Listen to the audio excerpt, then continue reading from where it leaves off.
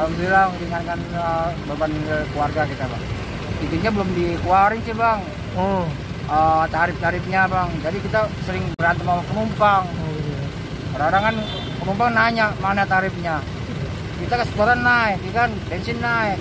Kita berikan pada rekan-rekan ojol, sopir angkot, juga bajai ya.